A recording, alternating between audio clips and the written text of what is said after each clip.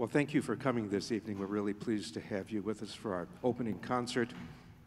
Um, this next work that we're going to present is a concerto, and it's, I guess, deserves a little bit of explanation. Most concertos are in three movements, usually fast, slow, fast configuration, and um, they're usually separated with a pause between each movement. And Mendelssohn was a little bit quirky. He liked co to compose concertos, and he would connect the first movement to the second, and the second movement to the third. And our soloist is only going to be playing the first movement this evening, and that creates a little bit of a problem because we have to have a different type of ending for the first movement. So I asked our soloist, Jonah, to compose or arrange an appropriate ending for this first movement. And he did get some help from Dr. Barry, our composition faculty member here. And Jonah did just a magnificent job. Uh, when you hear this, you're not going to realize where Mendelssohn stopped composing and where Jonah took over. He just did just a great job. So, um, Jonah is a graduate student here. He's studying with uh, Dr. Uh, Graf, uh, uh, the artist faculty, piano faculty here. And uh, he got his undergraduate degree at North Greenville University. And I asked him when he started playing the piano. And he couldn't actually tell me his age, but he did tell me that he simply could not remember not ever playing the piano. His first teacher was his mother. Would you please welcome Jonah?